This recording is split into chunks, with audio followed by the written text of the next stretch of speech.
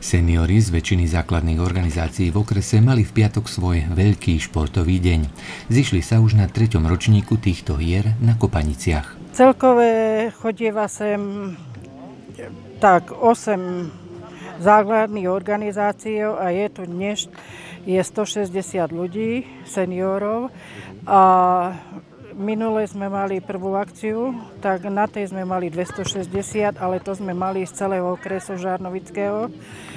A zúčastnilo sa 260, ale teraz sme nepozývali všetkých, lebo lebo je to veľa, keby sme športovali všetci.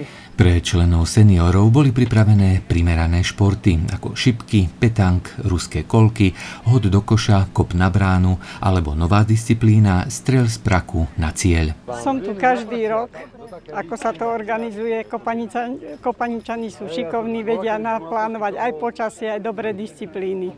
Takéto akcie sa najlepšie na Kopaniciach, ktoré, ktoré sa robia často, aspoň 2-3 razy do roka.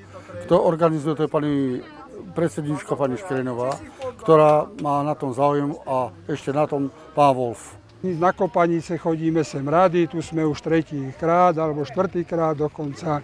A my poriadame teda rôzne podujatia, ako aj spevy. Máme spevokol, máme zvončeky Horné Hámre, kde chodíme aj na prehliadky okresné chodíme na proste akcie, vystupujeme pri rôznych podujatiach v obci, sa organizuje obecný úrad, čo robí podujatia, súťaže, všade vystupujeme, spievame proste a my sme radi, že vôbec žijeme. Seniori sú veľmi zapálení pre takéto súťaženie a veru, aj keď by ste to nepredpokladali, sa dokážu mnohokrát pohádať. Do všetkého idú naplno. Minulý rok dokonca pre zranenie pri páde museli volať aj záchranku. Ale samozrejme to nerobia pre nejaké hodnotné ceny, lebo aj tak žiadne nie sú. Dostanú len diplom a medailu. No najcenejšia pre nich je vzájomná spoločnosť a posedenie budeme mať tombolu, máme bohatú a budeme mať ako občerstvenie kapusnicu, každý má kávu, koláč a občerstvenie, pitný režim. Aj keď toto bol len tretí ročník týchto športových hier, na Kopaniciach sa seniori z celého okresu schádzajú takto už 5 rokov. No program majú oveľa bohatší a každý mesiac niektorá iná základná organizácia organizuje vždy svoju akciu pre ostatných. Aj na najbližšie obdobie majú pripravené množstvo akcií.